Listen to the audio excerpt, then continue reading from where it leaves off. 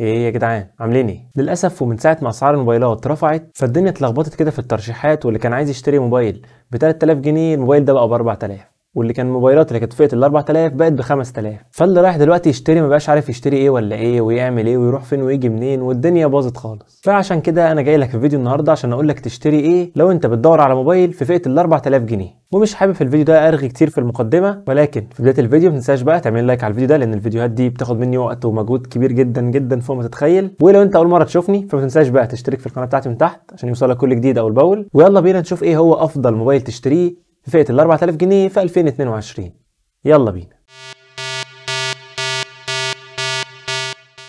طيب واللي أول مرة يشوفني أو ما يعرفنيش فاللي أنا بعمله في فيديوهات الترشيحات كالتالي. بنمسك كده كل شركة ونشوف إيه أفضل موبايل عندها في الفئة دي. ولو الموبايل ده يستحق هقول لك إن هو يستحق. لو ما يستحقش هنطلع الموبايل ده بالشركة بره الترشيحات خالص. لحد ما نوصل سوا كده في النهاية لأفضل موبايل في الفئة. بالإضافة كمان لأن في نهاية الفيديو هقول لك رأيي أنا الشخصي. لو أنا مكانك كده ورايح أشتري موبايل فئة ال 4000 جنيه هشتري إيه؟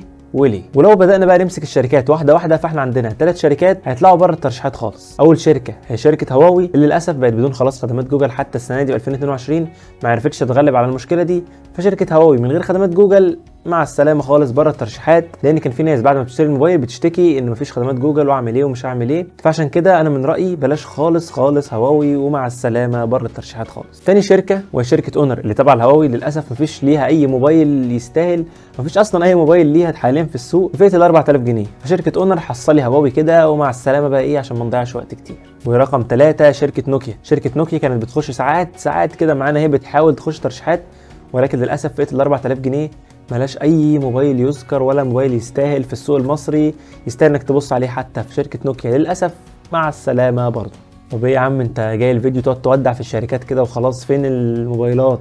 أقول لك الموبايلات جاية من دلوقتي ورابع شركة معانا هي شركة إنفينكس. أيوه إنفينكس داخلة معانا في ترشيحات السنة دي بموبايل كويس نوعا ما لعشاق إنفينكس. والموبايل ده هو ال Infinix Note 11 Pro. الموبايل ده مميزاته كالتالي. أول حاجة جايب ال Helio G 96 وده معالج محترم قوي سواء في المهام اليومية أو ال social والتصفح. وفي الألعاب يعتبر كويس جدا ولكنه أقل من ال G 95 بحاجات بسيطة. ولكن يظل معالج ممتاز. تاني حاجة عندك نظام صوتي في الموبايل هنا stereo speakers. يعني الصوت بيطلع من فوق ومن تحت في الموبايل ده. تالت حاجة بطارية كبيرة 5000 ملي امبير hour مع شاحن 33 واط. رابعا الشاشة هنا جاية لنا بتردد 120 هرتز. يعني سلاسة بقى وإيه والنعومه كده في التصفح والتنقل هيكونوا ممتازين جدا معاك ولكن الحلو ما يكملش لأن الموبايل ده فيه أربع عيوب. اول عيب الشاشة هنا IPS مش AMOLED ولكن لو مش فارقة معاك فده يعتبر مش عيب. ولكن طبعا لأننا في الآخر هنشوف موبايلات جاية ب super AMOLED كمان فده يعتبر عيب في الفئة دي. تاني عيب ما عندناش هنا كاميرا ultra wide يعني مفيش تصوير واسع. تالت حاجة ما عندكش مايك تاني لعزل الضوضاء. يعني لو بتتكلم في مكان دوشة فالصوت للي بيسمعك مش هيكون ألطف حاجة. رابع حاجة مفيش هنا NFC للي بيستخدموا ال NFC واللي ما بيستخدمهاش وما يعرفش إيه دي ففكك اعتبرها مش موجودة. سعر الموبايل ده للنسخة ال 128 جيجا مساحة تخزين و8 جيجا بايت RAM 4250 جنيه مصري. الموبايل ده الصراحة كويس ومش وحش ولكنه ليس الأفضل في الفئة دي لأن في موبايلات هنشوفها بعد كده أفضل من الموبايل ده في حاجات كتير جدا جدا أهمهم الشاشة واستقرار ال software أكتر من إنفينكس وهيقدموا تجربة كاميرات أفضل. فأنصحك تكمل معايا الفيديو لو أنت بتدور فعلا على أفضل موبايل في الفئة دي. خامس شركة حبيبة الملايين شركة أوبو اللي دايما في كل ترشيحات كده للأسف نفسي أدخلها في ترشيحات وتنجح فيها ولكن للأسف الشركة بتقدم موبايلات في الفئات دي يعني تعبانة خالص خالص. يعني أنا لفت الدنيا الاقي موبايل فئة ال 4000 جنيه يطلع لي في الآخر ال Oppo ال A 74 المشكلة الموبايل ده مليان عيوب. أول عيب ما فيهوش NFC تاني عيب Snapdragon 662 وده لوحده كفيل إنه يطلعه خالص بره الترشيحات. معالج ضعيف جدا جدا ومش هيستحمل معاك سنة سنة ونص. ولو أنت بتلعب فده مش هينفعك خالص. تالت حاجة مفيش مايك تاني لعزل الضوضاء. رابع حاجة ما عندكش كاميرا أصلا ultra wide. والموبايل ده سعره ال 128 جيجا و6 RAM 4400 جنيه مصري. فللأسف شركة أوبو في الفئة دي سيئة جدا وما أقدرش أرشح منها حاجة. فأوبو مع السلامة. سادسا شركة فيفو. شركة فيفو مؤخرا بدأت تخش الترشيحات بموبايلات كويسة نوعا ما في الفئة دي. عندنا هنا موبايل كويس نوعا ما ال V 21 e لو لقيته. الموبايل ده بيتميز بالتالي. أول حاجة ال Snapdragon 720 G معالج محترم مستقر هيديك أداء زي الفل. تاني حاجة تقريبا ده يعتبر أفضل كاميرا سيلفي موجود في الفئة. كاميرا سيلفي 44 ميجا بكسل بتطلع صور ممتازة في ظروف إضاءة. تالت حاجة عندك هنا شاشة AMOLED ب HDR 10 plus full HD plus شاشة محترمة جدا جدا مفيش فيها أي مشكلة. رابع حاجة شاحن سريع 33 واط. خامس حاجة software مستقر وسلس كده وجميل خالص. من فيفو ولكن عيوب الموبايل ده كالتالي للأسف شاشة الموبايل ده 60 هرتز بس. في ناس كتير ما بيفرقش معاها الكلام ده وأنا واحد منهم عن نفسي لما بجيب الموبايل بطفي أصلا 90 هرتز. ولكن عدم وجود 90 هرتز على الأقل في الموبايل لازم نصنفه كعيب. تاني حاجة مفيش NFC ولحد دلوقتي العيوب ممكن تعدي. ولكن تالت حاجة البطارية هنا للأسف صغيرة قوي قوي وأصغر بطارية معانا. في الموبايلات كلها البطاريه هنا 4000 ملي أمبير hour. في 2022 خلاص بقينا نشوف على الأقل 4700 4500 لكن 4000 دي يعني خلاص عدت خالص من يجي سنتين ثلاثة رابع حاجة السماعات هنا mono speaker سماعات أحادية الصوت بيطلع من جهة واحدة بس فالصوت هنا هيكون أوطى من كل المنافسين. سعر الموبايل ده للنسخة ال 128 جيجا مساحة تخزين و8 RAM حوالي 4750 جنيه مصري أو 4800 جنيه مصري. الموبايل ده ما رشحوش غير لواحد خلاص مش شايف غير فيفو قدامه. غير كده لا ما انصحش بالموبايل ده على الإطلاق لأن في الأفضل منه بكتير كمان.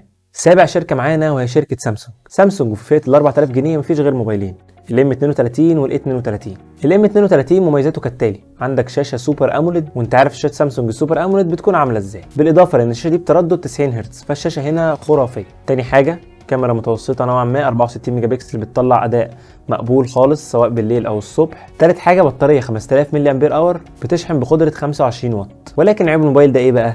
أول حاجة ال processor بتاعه Helio G 80 وده يعتبر الأضعف بعد موبايل أوبو اللي لسه قايلين عليه.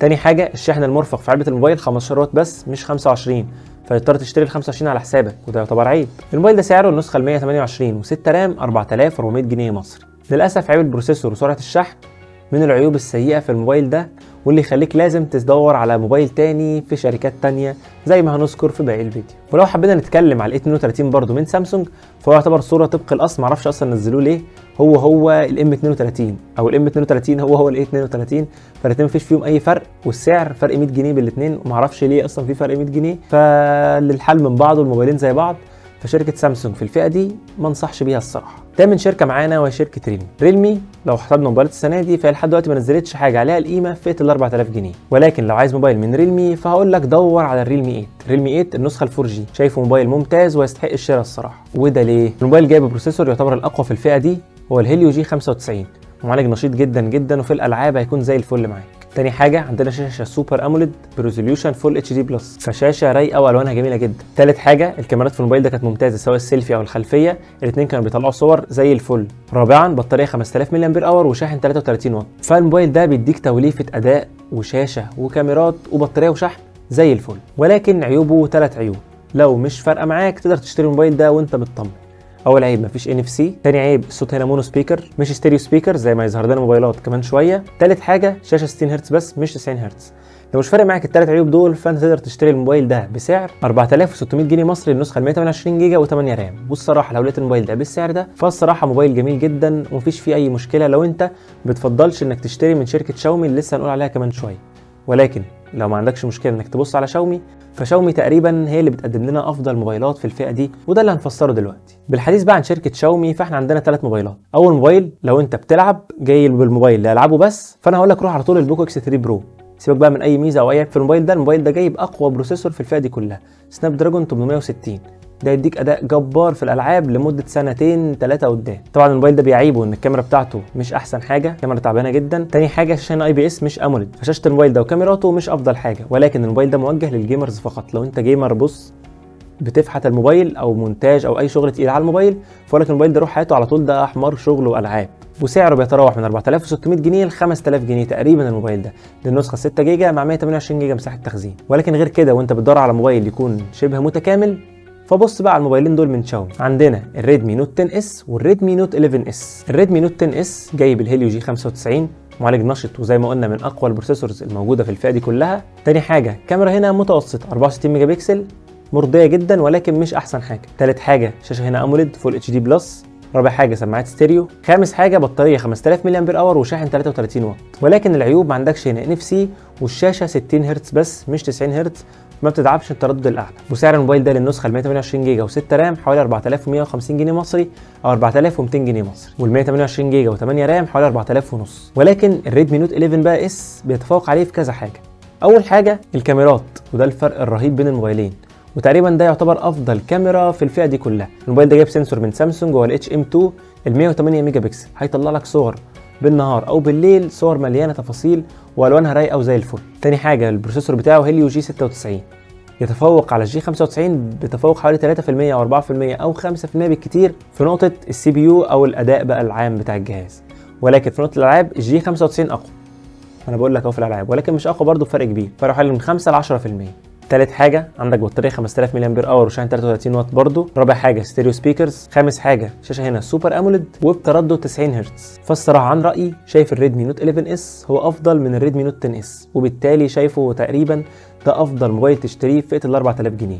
طب سعره كام الموبايل ده؟ النسختين اللي في الفئة بتاعتنا ال 64 جيجا و6 RAM ب 4400 جنيه مصري وقابلة للزيادة الله أعلم بسبب إن الأسعار ممكن تغلى تاني. تاني حاجة ال 128 جيجا و6 RAM ب 4900 جنيه مصري. فأنا بقول لك أهو أنا عن نفسي لو بدور في موبايل فئة ال 4000 جنيه يا إما هروح لل Poco X3 Pro لأني ساعات بلعب كتير ببجي يا إما هروح لل Redmi Note 11S وده هيقدم لي أكتر تجربة متكاملة في الفئة دي كلها. وبس كده. ده كان نهايه فيديو ترشيحات لأفضل موبايل بسعر 4000 جنيه قلت لك فيه رأيي هو ال Redmi Note 11S ده أفضل موبايل متكامل.